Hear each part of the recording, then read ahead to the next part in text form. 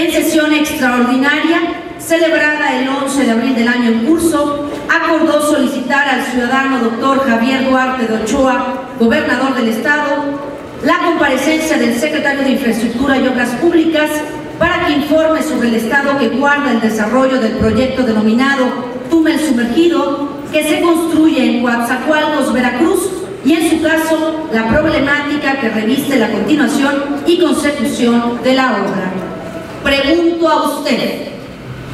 ¿protesta usted decir verdad en cuanto a la información que proporcione y a las respuestas que emita a partir de los cuestionamientos que formulen los integrantes de este Congreso? Sí, protesto.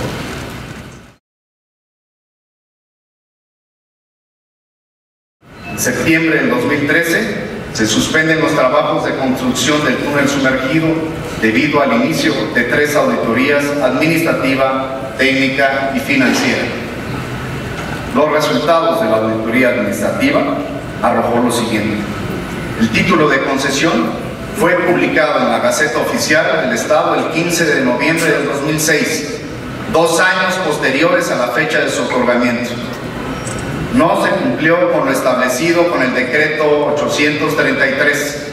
establece que para la construcción del túnel la inversión se integraría por tres quintas partes, es decir, el 60% de capital privado y dos quintas partes del capital público, es decir, 40%. En septiembre del 2013, concesionario exigió pagos adicionales por 1.748 millones de pesos más para concluir la obra, mismos que incluyen la salida de Allende y otros reclamos financieros. El gobierno del estado de Veracruz decidió detener la obra ante la presión del concesionario y toda vez que la Auditoría Superior de la Federación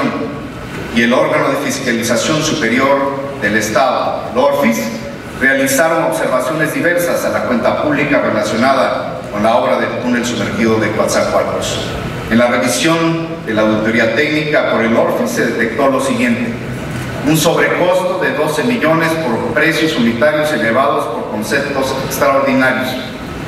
conceptos cobrados pero no ejecutados por 65 millones de pesos, conceptos sin dictamen y soporte que justifique su ejecución y control por 8 millones de pesos, conceptos carentes de soporte de volumetría y análisis de precios extraordinarios por 133 millones de pesos. Los resultados de las mencionadas auditorías coinciden en la existencia de diversas irregularidades financieras y técnicas del proyecto del túnel sumergido. En particular, la Auditoría Superior de la Federación determinó la existencia de un importante desfase temporal en la ejecución de la obra. Con base en ello, consideró procedente que la entidad fiscalizada procediera a imponer las penas y hacer efectivas las garantías correspondientes. Informa esta soberanía que el pasado 9 de diciembre del 2013 la Secretaría a mi cargo presentó denuncia de hechos ante la Procuraduría General de Justicia del Estado a efecto de que se inicie la investigación correspondiente, se determinen quién o quiénes son probables responsables y agotando el procedimiento de investigación ejercite en su caso la acción penal correspondiente y se repare el daño causado al erario público.